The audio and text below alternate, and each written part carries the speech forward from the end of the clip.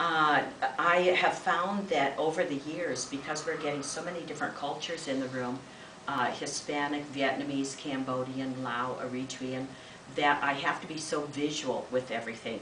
So that uh, if I'm working with Pythagorean relation and teaching the students Pythagorean relation, I have to very clearly draw uh, a right triangle and put the numbers and even draw the lake in. So I've gotten so, so much more visual with the different problems because uh, language, communication and everything, these students really, really have to, have to see a description. So on this one, we're going to use Pythagorean relation to find the distance across the lake. Now with this one, you can't uh, get in a rowboat and go across the lake and string a string across the lake for how many kilometers?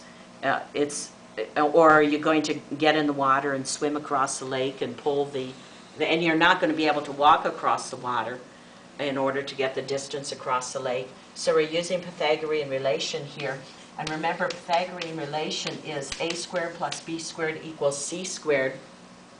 And um, uh, in this one, our uh, a is x, I'll let that be x, so we have x squared plus 2.4 squared equals 3.0 squared.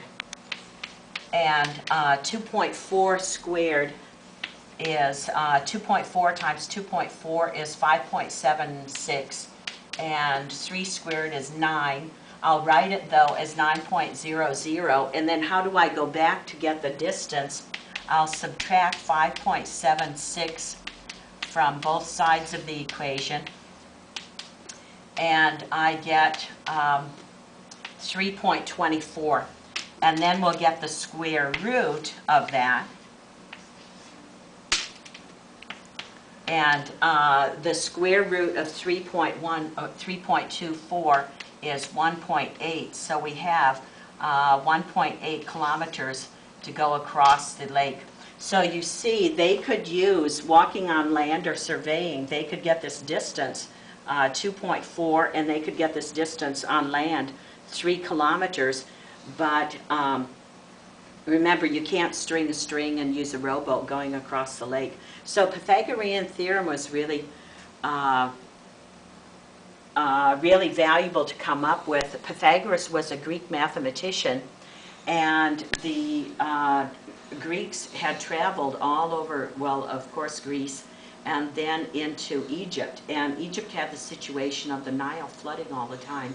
And the farmers' uh, boundaries between one farmer's land and another farmer's land would be totally wiped out in the flood. I mean, the Nile River was really wonderful that the Nile River brought all kinds of uh, uh, good soil and fertilizer to the farmer's property.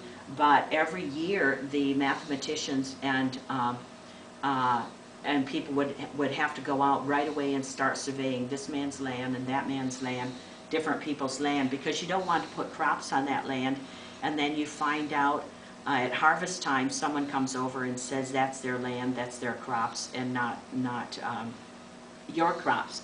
I mean, there people have fights over how many other things. Uh, you you wouldn't end up uh, wanting some kind of fight over whose land it was. Uh, so with the Pythagorean relation also it became important for them to begin getting square roots. And one of Pythagoras' followers came up with the square root of 2. He said that it was about 1.414. And um, let's see, the square root of 3 about 1.732. And this curly line means about. Uh, So uh, now we have some square roots, like the square root of 4 is exactly 2, and the square root of 25 is exactly 5. But we have to get into studying irrational numbers because irrational numbers are like the square root of 13. We don't know what it is, we only know about what it is, that it's uh, not an exact, uh, we can't get a- the exact square root of 13.